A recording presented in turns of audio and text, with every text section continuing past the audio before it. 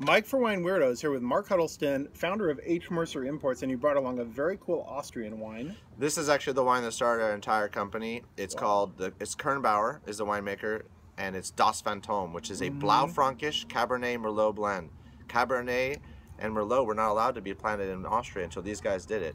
And the Blaufränkisch gave me that spice, Mm-hmm. and then the Cabernet and the Merlot is giving me those dark black currants and like dried cherries, and it just A super. Austrian. It's a super Austrian. it really is super on the nose there's all sorts of savory things going on and on the palate there's great acidity but there is serious fruit going on here as well Well, there's This a lot of complexity, accessible. and to be able to blend those together was just like blew me away. yep i could totally see that this is a stellar wine and i think you need to seek this out ask for it by name h mercer imports right Yes, that's our company. all right cool we'll be back with more on wine weirdos cheers Cheers.